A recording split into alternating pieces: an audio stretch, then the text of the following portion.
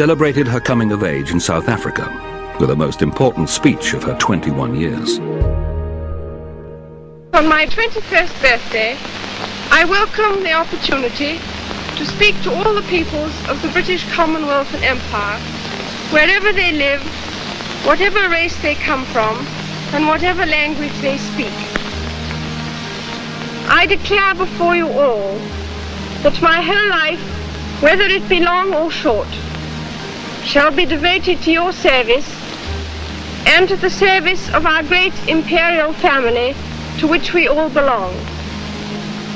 But I shall not have strength to carry out this resolution alone unless you join in it with me, as I now invite you to do. I know that your support will be unfailingly given. God help me to make good my vow, and God bless all of you who are willing to share in it.